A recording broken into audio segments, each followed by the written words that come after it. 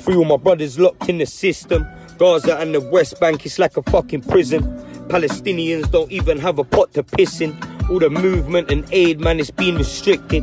Can't guard your shit on the Gaza Strip. They're dropping big bombs as if kids were hard to hit.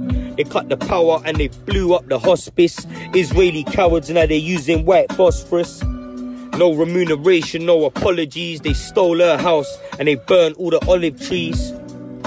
Man, they gotta be mental. Archaeologists looking for Solomon's temple. They killed her son and they bombed her brother. They beat her dad and they shot her mother. Rockets dropping all through the night. This is Gaza, they don't know about no human rights. No ceasefire, man, they keep firing. Fuck the media, man, they keep lying. If they don't hear me, then I keep trying. I probably see pigs flying before they stop these kids dying. Hiding from the demons. At night they be creeping. They call me Harami, but the Ummah's sleeping. This ain't Isaac or Ishmael. I heard about Palestine, I don't know about no Israel. Fuck it.